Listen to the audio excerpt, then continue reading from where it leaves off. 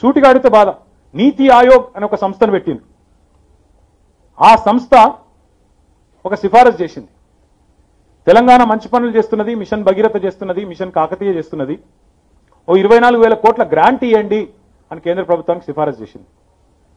ఇరవై నాలుగు వేల కోట్ల రూపాయలు ఇవ్వని కేంద్ర ప్రభుత్వానికి వాళ్ళ సంస్థనే చెప్తే ఇరవై నాలుగు పైసలు ఇవ్వకపోతే అదేం నీతి? అదేం ఆయోగు? ఈ మాట అంటే కోపం. నువ్వు నీతి ఆయోగ్ని కూడా విమర్శిస్తావా? అంత పెద్ద దూరమైనవా మరి ఏం చేయాలి? ఆరున్నర ఏళ్ళు లోపిక పట్టినాం. నువ్వు బయ్యారంలో ఉక్కు ఫ్యాక్టరీ పెడతా అంటివి. సైల్ మన steel authority of India limited ద్వారా. బయ్యారం ఉక్కు సంగతి దేవుడెరుగు ఉన్న విశాఖ ఉక్కునే తుక్కు తుక్కు చేసి అమ్మేస్తున్నాడు. ఆ మాట అంటే నువ్వెవరు అడిగేతందుకు? నీకేం పని ఆంధ్రప్రదేశ్లో? ఆంధ్రప్రదేశ్ దేశంలో లేదా? మేము మాట్లాడద్దా? ఈ దేశంలో మాకు ఇస్తా లేదా? మాకు నోరు లేదా? ఇవాళ నువ్వు అక్కడ అమ్ముతున్నావు. రేపు మా సింగరేణి మీద పడతావు మా ఈసీఐఎల్ మీద పడతావు బిహెచ్ఎల్ మీద పడతావు. ఇలా వాళ్ళకి కష్టం వచ్చిందని మేము నోరు మూసుకుంటే మాకేంలే అంటే రేపు మా కష్టం వచ్చినప్పుడు ఎవడు ఉంటాడు మరి? అందుకే నేను ఈ విజ్ఞప్తి చేసేది కూడా మీతో కూడా ఇక్కడ ఉండే బుద్ధిజీవులకు కూడా విజ్ఞప్తి చేస్తా ఉన్నాను నా విజ్ఞప్తల్లా మీతో ఎవరికో కష్టం వచ్చింది వారికేమో అయితే నాకేమిలే అనే పట్టింపు లేని తత్వం మంచిది కాదు. దేశం మనది. తర్వాతనే మనం తెలంగాణ బిడ్డలం కానీ ముందు భారతీయులు. భారతదేశంలో ఎక్కడ తప్పు పని జరిగినా ఆలోచన చేయవలసిన అవసరం ఉంది. నీతి ఆయోగ్ పెట్టినప్పుడు సంబరపడ్డ మీద మంచి జరుగుతుందేమో? ప్లానింగ్ కమిషన్ తీసేసి నీతి ఆయోగ్ పెడుతున్నాడు ఏం జరుగుతుంది ఇవాళ? నీతి ఆయోగ్ చేయవలసిన పని ఏంది? వాళ్ళు చేస్తుంది ఏంది? భారతదేశ భవిష్యత్తుకు సంబంధించిన ప్రణాళికలు రూపొందించాలా? కానీ వాళ్ళేమో ఒక అది తయారు చేసిండ్రు ఫార్మాట్ వంద ప్రభుత్వ రంగ సంస్థలను అమ్మడం ఎలా? ముప్పై రోజుల్లో వంద సంస్థలు అమ్ముడు ఎట్లా? అది రూపొందిస్తున్నది నీతి ఆయోగ్. ఇదా మీ పని. ఇంకా మళ్ళీ మనకు అడ్వైజ్ ఇస్తున్నారు రాష్ట్రాలకు. మేము అమ్ముతున్నాం మీరు కూడా అమ్ముండ్రి. అమ్ముడు విషయంలో కూడా ఎంత దారుణం అంటే ఐడిపిఎల్ అనే ఒక సంస్థ ఉండే ఇక్కడనే మన హైదరాబాద్ దాని వల్లనే హైదరాబాద్ ఇలా bulk drugs industry pharmaceutical industry వచ్చింది. అందులోకెళ్ళి అంజిరెడ్డి గారు లాంటి పెద్ద మనుషులు అందరూ డాక్టర్ రెడ్డిస్ ఇంకా ఇతరత్ర సంస్థలు పెట్టిన వాళ్ళందరూ అందులోకెళ్ళి వచ్చిన వాళ్ళు. ఆ ఐడిపిఎల్ అనే సంస్థ మూలపడ్డది ఇట్లనే ఖతం చేసిండ్రు అయిపోయింది. అయిపోయినాక మొన్న ఉత్తరం వచ్చింది మనకు రెండేళ్ళ కిందట. ఐడిపిఎల్ పెట్టిన నాడు అప్పటి రాష్ట్ర ప్రభుత్వం ఆ సంస్థకు భూములు ఇచ్చింది. రాష్ట్ర భూములు అనేది ల్యాండ్ సబ్జెక్ట్ ల్యాండ్ అనేది స్టేట్ సబ్జెక్ట్ మనం భూములు ఇచ్చినాం. మన కేంద్ర ప్రభుత్వం ఉత్తరం రాస్తుంది మనకేమని తెలుసా? మేము ఐడిపిఎల్ భూములు అమ్మేస్తున్నాం మార్కెట్లో పెట్టి. మీరు కొనుక్కుంటే కొనుక్కోవచ్చు. ఇది మన భూములు మనమే కొనుక్కో అన్నట్టు ఇప్పుడు మళ్ళా. హిందుస్థాన్ కేబుల్ హిందుస్థాన్ ఇంకా చాలా ఉన్నాయి అట్లాంటి దుకాణాలు. ఇక చెప్తే ఇంకా చాలా ఉన్నాయి బాస్. ఇప్పుడు బిఎస్ఎన్ఎల్ అనే సంస్థ ఉండే.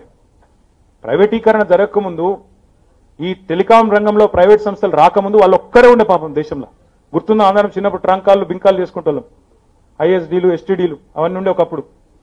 పీపీ ఉండే పక్కింటి ఫోను. ఫోన్ వచ్చిన పెద్ద కత్తుండే అప్పుడు. ఇప్పుడేమో ఇక్కడ మా కూర్చున్న ప్రతి అన్నకు తమ్మకు రెండు రెండు ఫోన్లు ఉంటాయి. వీళ్ళందరూ వచ్చినాక ఈ బిఎస్ఎన్ఎల్ ఎందుకని చెప్పి ఎనభై వేల మందిని తీసుకుపోయి రోడ్డు మీద పడేసాను అడిగేటోడు లేడని. ఎనభై వేల మంది బిఎస్ఎన్ఎల్ ఉద్యోగులకు గోల్డెన్ యాక్ట్ హ్యాండ్ షేక్ మను షేక్ అని చెప్పి ఖతం చేసి పారేసాను అడిగేటోడు లేడని.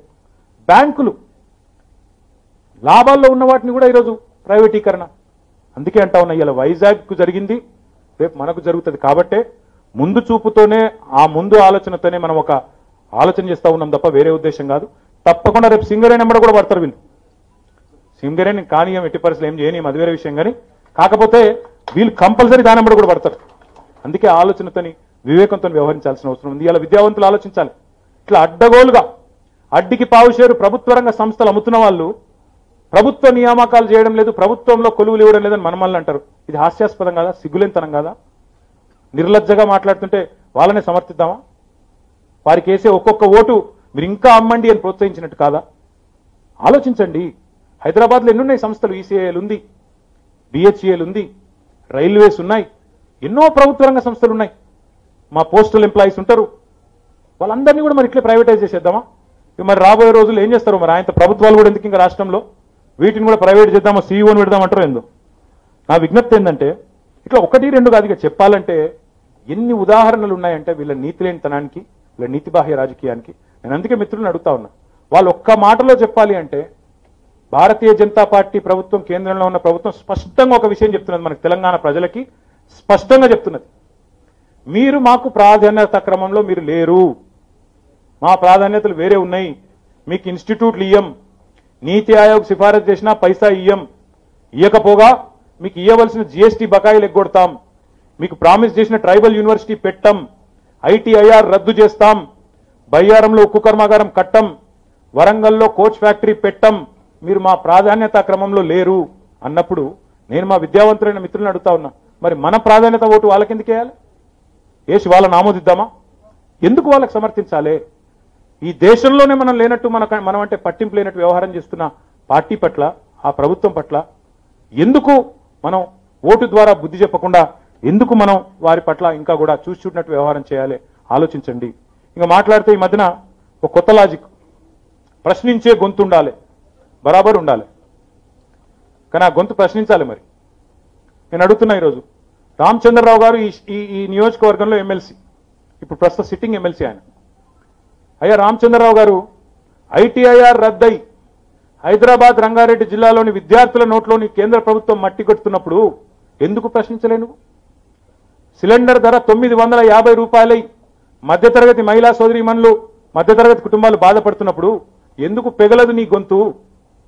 రైల్వే కోచ్ ఫ్యాక్టరీ రద్దు చేస్తా అని చెప్తే ఎందుకు ప్రశ్నించవు?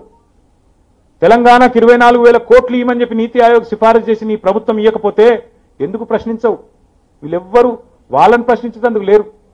కేసీఆర్ను బండబూతులు తిట్టడానికి మాత్రం ఈ నోళ్ళు వస్తాయి చూడండి మీరు ఒకసారి వాళ్ళు ఏమేం మాటలు మాట్లాడుతున్నారు. కేసీఆర్ గారి వయస్సు అంటే కేసీఆర్ గారి ముఖ్యమంత్రి పదవైన హోదా కానీ లేదా తెలంగాణ సాధనలో ముందుండి అందరినీ సమాజాన్ని ఒకటి చేసిన నాయకుడనే సోయి కానీ లేకుండా నోటికొచ్చినట్టు కేసీఆర్ని దూషిస్తుంటే దానికి మాత్రం నీ గొంతులు వేస్తాయి ఇందుకోసమా వీళ్ళని పంపేది మన చట్టసభలకి?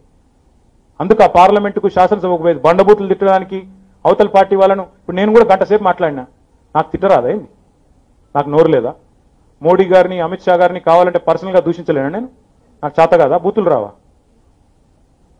కానీ వాళ్ళున్న వయస్సు వాళ్ళున్న హోదా సిద్ధాంతపరంగా విమర్శ చేయి ఎంత ఏం మాట్లాడతావో మాట్లాడు బరాబర్ మాట్లాడు.